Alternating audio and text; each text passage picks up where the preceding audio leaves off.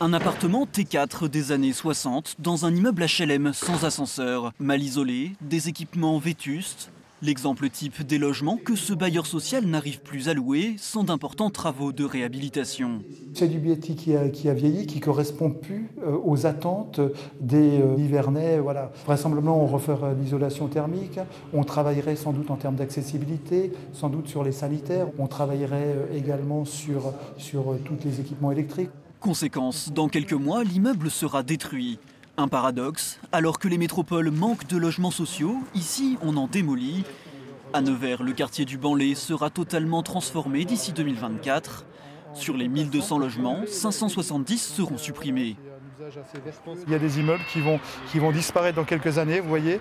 Toute cette barre-là, la barre que l'on voit là en contrebas, va, va disparaître. L'immeuble qui est en travers va disparaître et l'immeuble là-bas au bout également. Ce, ce, ce type d'habitat, ce sont ces grandes barres qui ont, qui, euh, qui, euh, sur lesquelles les gens ne souhaitent pas forcément habiter.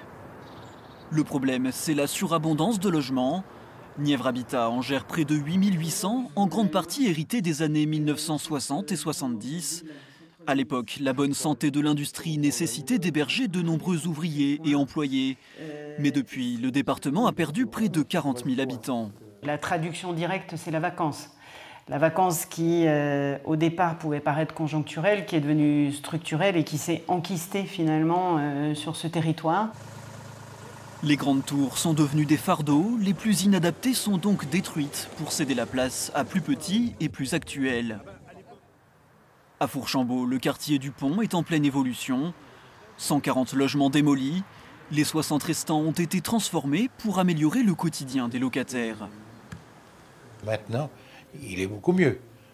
Et même au point de vue de, même de l'extérieur, euh, pour l'isolation, la configuration du logement est mieux, et aussi l'ascenseur. Chaque année, plus de 20 millions d'euros sont investis dans la Nièvre pour transformer le parc HLM. Rénovation, désamiantage, amélioration des performances énergétiques. Des opérations qui changent aussi l'aspect des bâtiments et les font correspondre au marché. L'isolation par l'extérieur se traduit par un matériau d'une épaisseur de 20 cm sur lequel on a appliqué euh, ben, un revêtement euh, avec un caractère esthétique euh, plus moderne, tant dans les couleurs que dans le choix des formes qui étaient retenues on a réussi à, reconvertir l'ancien euh, vers, vers du moderne. Avec ces transformations, les programmes neufs ou rénovés avoisinent les 100% d'occupation. Mais le défi n'est pas terminé pour les bailleurs sociaux, car la Nièvre pourrait perdre encore 20 000 habitants sur les 30 prochaines années.